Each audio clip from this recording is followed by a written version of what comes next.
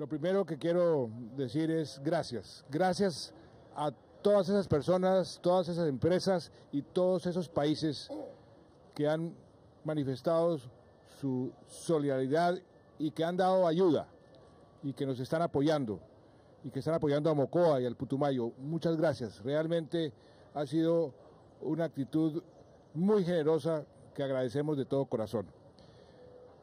Hemos hecho un balance sobre cómo va la parte humanitaria y la parte de restablecer los servicios básicos y el futuro de Mocoa para que quede mejor que antes. El balance hasta el momento es el siguiente. En eh, personas fallecidas, el número es 314 y ya todos, todos los 314 tienen su necropsia completa. Eso es un paso importantísimo. Han sido entregados 249 de las personas fallecidas e inhumados 29. El número de desaparecidos que estaba en 173 se ha reducido a 106. 106 desaparecidos porque se han encontrado eh, los que la diferencia o infortunadamente han sido personas que han fallecido. En salud, afortunadamente esa situación está estabilizada. Hoy se inicia la sexta jornada de vacunación y se han vacunado 18.470 personas o se han aplicado 18.470 vacunas. El Instituto Nacional de Salud tiene presencia en todos los albergues en este momento. En materia de energía, personalmente fui a ver la subestación que ya llegó, ya está aquí. Falta un interruptor que está en camino. En este momento se está conectando eh, una subestación que va a permitir que en eh, el Putumayo estaba solamente con el 20% del servicio de energía y hoy, en las próximas horas, va a aumentar al 60%, es decir, de 20 al 60%. Van a recibir energía esta misma tarde. Eh, Puerto Caicedo, Puerto Asís, Orito, el Valle del Guamés y San Miguel. Ellos van a recibir a partir de esta tarde nuevamente su energía. Y el resto esperamos que la semana, entrante eh, se están haciendo los eh, operativos necesarios y las gestiones necesarias para que ojalá como lo habíamos previsto desde el inicio de aquí al martes de la semana entrante podamos decir que está en, eh, en operación todo el Putumayo, es decir, el Putumayo recupera nuevamente el servicio de energía.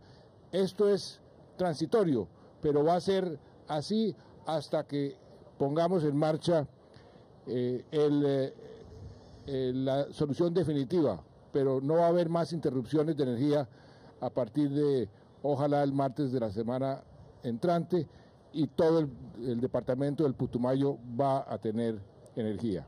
En gas domiciliario hay 3.200 conexiones, se han restablecido 2.750 y hay 400 afectadas que van a ser, y ayer estuve yo en el Congreso de Naturgas, van a ser eh, beneficiadas con eh, la conexión gratis por parte de Naturgas. En, cuanto al, agua, está en operación eh, la planta potabilizadora que eh, nos ofreció el acueducto de Bogotá y hay 51 carrotanques operando, llevando agua a los puntos eh, necesarios y trayendo agua de Villagarzón, del acueducto de Villagarzón. Todo eso suma 1.300.000 litros al día, que es el volumen mínimo necesario en una emergencia para que la gente tenga eh, agua potable en esa cantidad y eso ya se está surtiendo. Aparte de eso, ya hoy Mocoa tiene un cubrimiento de 45% de lo que se denomina agua cruda. O sea, no es agua potable, pero sirve para bañarse, eh, para los sanitarios, eh, para otro tipo de usos. 45% ya tiene Mocoa en cubrimiento de agua cruda. En un mes, si los planes que tenemos se cumplen, en un mes podremos decir que Mocoa tendrá agua potable al 100%, que será un sistema también transitorio pero estable. Y antes del 20 de abril vamos a suscribir el contrato para la construcción de un nuevo acueducto para que Mocoa, como lo hemos prometido, quede en materia de agua y en otros frentes mejor de lo que estaba antes, con un cubrimiento del 100%. Por otro lado, en materia de, de ayudas, 4.668 familias han sido atendidas, hay hoy alimentación caliente en los siete albergues que tiene eh, la dirección de riesgo. Se han repartido 82 toneladas de mercados. Se han repartido también 8.300 raciones en dos días, además, eh, jueves y viernes, 8.300 raciones y se han recibido adicionalmente 70 toneladas de agua 22 toneladas de alimentos más 20 del SENA, o sea, 42 toneladas a través de las donaciones que habíamos solicitado y nuevamente nuestro agradecimiento a todas esas em-, empresas y personas que han venido ayudando eh, en ese sentido. Hay una ayuda que necesitamos, una ayuda específica. Eh, ropa nueva y primordialmente para niños y niñas. Ropa nueva, primordialmente para niños y niñas, pero también para adultos necesitamos ropa nueva. Si nos pueden ayudar con eso sería muy útil en este momento. La cuenta, la cuenta ya llegó a 4.700 millones de pesos eh, y va creciendo y nuevamente nuestros agradecimientos con todos los que han contribuido a esa cuenta. Se han, se han ya registrado en el registro único de damnificados 2.858 familias. 2.858 familias ya están registradas. Subsidios de arriendo. Hay solicitudes en este momento por 1.147. María Clemencia.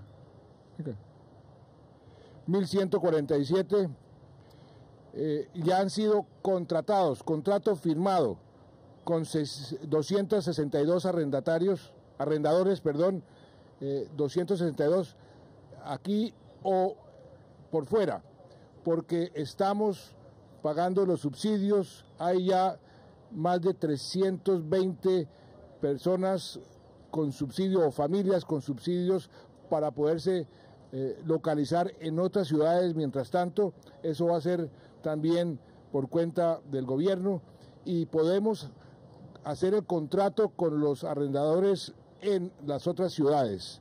Y eso está ya marchando y fluyendo. Acuérdense que son 700, 750 mil pesos de arrendamiento trimestral y no es solamente por tres meses, porque esa fue una pregunta que me hicieron en un albergue esta mañana. Eso es renovable hasta el momento en que se le encuentre una solución definitiva a las familias. Ojo, no es que les vamos a dar el subsidio solamente por tres meses. Lo que estamos haciendo es que inicialmente se hace un contrato con el arrendador por tres meses, pero eso se renueva hasta el momento de conseguir la solución definitiva. Fui también al puente que queda en el kilómetro 4 en la carretera entre Mocoa y Pitarito, Mocoa y Neiva. Eh, allá están haciendo unos grandes trabajos. El puente militar estará listo el próximo martes. Y eh, a partir de ese martes podrán pasar las tractomulas por ese puente y eso va a ayudar muchísimo eh, a que toda la carga que entra y salga tenga más fluidez y vamos también a construir un puente nuevo mientras tanto, pero vamos a tener ese servicio y le agradezco mucho a los ingenieros militares que han hecho un gran trabajo también y, y al Invías que ha hecho un gran trabajo también. Em, los niños, los muchachos que están hoy con, con créditos del ICETEX, que me han preguntado qué va a pasar con ellos, el ICETEX eh, va a dar un periodo de gracia de un año entero. O sea, no se, no se, no se preocupen en ese sentido que un año entero se va a dar en eh, crédito de, periodo de gracia.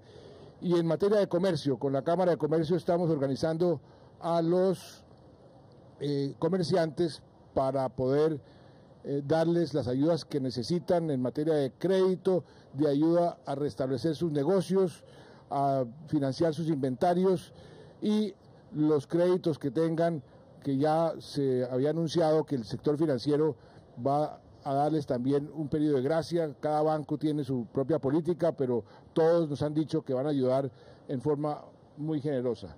Pero eso lo estamos organizando con la Cámara de Comercio. Aquí estaremos y seguiremos pendientes de cómo avanza todo el proceso. Eh, este ha sido un proceso muy complejo, pero creo que se está estabilizando y ahora lo importante, hablé esta mañana con el presidente del Banco Interamericano de Desarrollo, que me dijo que el martes tenía también una, un plan de reconstrucción a largo plazo eh, de Mocoa para que Mocoa realmente, en todo sentido, quede mejor de lo que estaba antes, que esa es nuestra política y nuestra intención. Muchas gracias. Ah, mire, una, una, algo muy importante, se me olvidaba, mi señora me acaba de recordar. Los niños volverán al colegio el lunes después de Semana Santa. Los eh, colegios, aquí hay 14 colegios, 7 fueron afectados. De los afectados, 4 pueden ser reconstruidos o reforzados, 3 de ellos hay que reconstruirlos totalmente y los vamos a reconstruir totalmente y nuevamente van a quedar unos colegios mucho mejor de lo que estaban antes. Pero la intención es que los niños regresen al colegio el lunes después de Semana Santa. Muy importante que los padres de familia sean conscientes de, de esta intención, que nos ayuden para que los niños no pierdan colegio.